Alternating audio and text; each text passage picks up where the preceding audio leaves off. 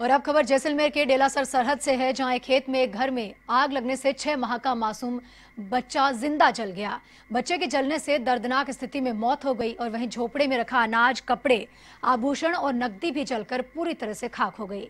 दीनाराम ने बताया कि वो अपने परिवार के साथ ही खेत पर काम करने के साथ परिवार साथ रहता है। वे पति पत्नी तीन बच्चों को झोपड़े में सुलाकर खेत में काम करने में जुटा था और कुछ ही देर में झोपड़े को जलता हुआ देखकर वे दोनों भाग कर आए। इस दौरान वे दो बच्चों को तो बचाने में कामयाब हो गए, लेकिन आग फैलने से छह माह के मासूम बच्चे को नहीं बचा सके, क्योंकि आग बुझाने के लिए पानी ही नहीं था।